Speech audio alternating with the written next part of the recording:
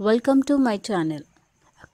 పంచాంగం ప్రకారం కార్తీక మాసంలో ఇంటి నిర్మాణం చేపడితే కలిగే ఫలితాలేంటో ఇప్పుడు చూద్దాం. కార్తీక మాసం చాలా పవిత్రమైన మాసం. ఈ మాసంలో ఇంటి నిర్మాణం చేపడితే ధనధాన్యాలకు లోటుండదు అని పంచాంగం చెబుతుంది. ఇంటి నిర్మాణం చేపట్టడమో లేదా ఇంటి స్థలం కొనడమో ఈ మాసాన ఆరంభించే వారికి సకల సంపదలకు లోటుండదు.